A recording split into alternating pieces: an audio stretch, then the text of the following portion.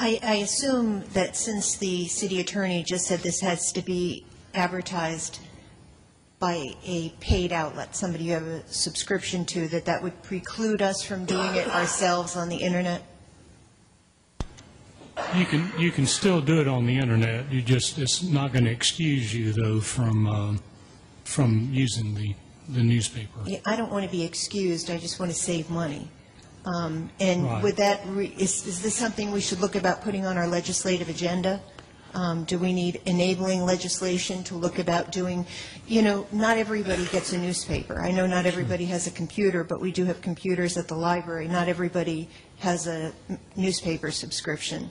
And, you know, we could save ourselves a lot of money throughout the year if we were able to just self-do it.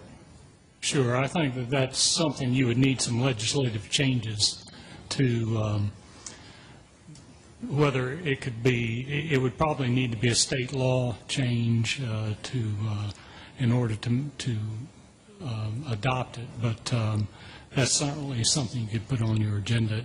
It's probably not right for this agenda, this session, since it's a short session, but uh, Well, you certainly know- something to I, I think it would be good for us to consider to put on our agenda for the next long session, because certainly it's, if it's a way for municipalities to save money, then I would certainly think that our legislature should support it. Ms.